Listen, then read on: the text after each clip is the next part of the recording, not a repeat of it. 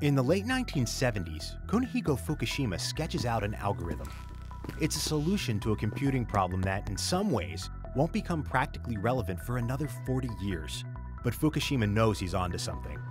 When computers catch up, the schematics on his desk will help move artificial intelligence from the domain of fantasy to reality. After years of studying the human visual cortex, Fukushima has created a way for machines to do what we do best to see the world, recognize patterns, and learn.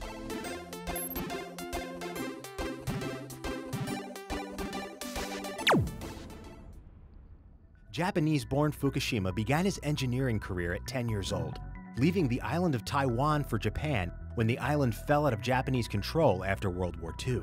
We are not allowed to bring anything except one baggage for each person.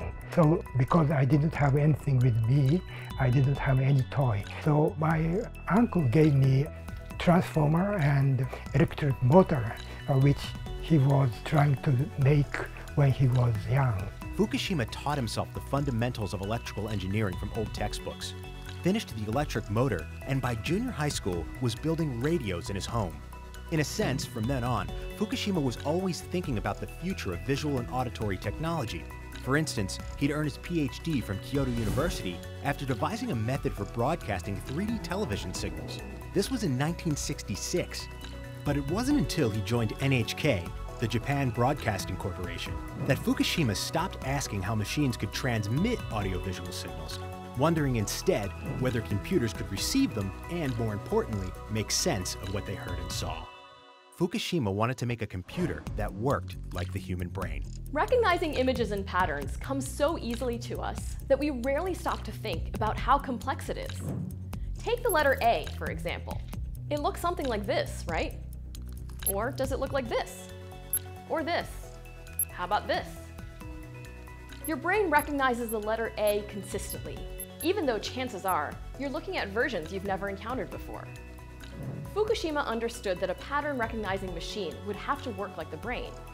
It would have to learn the concept of a given image, like the version of letter A you imagined a moment ago, and compare this conceptual understanding to real-world observations. At first, we didn't know anything about neurophysiology, neuropsychology. So we called some professors of neurophysiology to our lab, and they gave me a lecture for about one or two years. Fukushima learned all he could about the brain's visual cortex, where cells were arranged into a neural network, a kind of circuitry completely different from the electronics Fukushima found familiar. But he soon realized this new kind of wiring was perfect for pattern recognition. Fukushima sketched up a network of electronic cells arranged in layers. A camera would feed an image into the cells. Layer by layer, the cells would analyze curvature and angles, the size and position of the lines, all the while comparing it to a single memorized concept of the target. In 1979, Fukushima called his revolutionary new machine the Neocognitron. And with the help of NHK, he produced this quintessentially 1980s film showing off its pattern recognizing capabilities. After his initial discovery, Fukushima and others spent years improving the Neocognitron, giving it the ability to recognize sounds, videos, and even obstructed imagery, sometimes more capably than the human brain. Recognize any of these letters? Believe it or not, it's not a problem for newer versions of the Neocognitron. As modern computers became smaller and faster, Fukushima's discovery became a core feature of modern artificial intelligence systems. Today, neocognitron technology gives industrial robots visual abilities. Braking and steering systems for self-driving cars. It can identify cancer under a microscope as reliably as a trained specialist, and even recognize patterns in nature that point to coming natural disasters.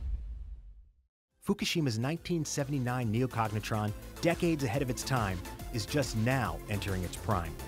As time goes on and artificial intelligence systems continue to redefine the role machines play in our daily lives, the neocognitron and its inventor will continue to hold a place in our cars, our pockets, and everywhere the great discovery story of humankind is told.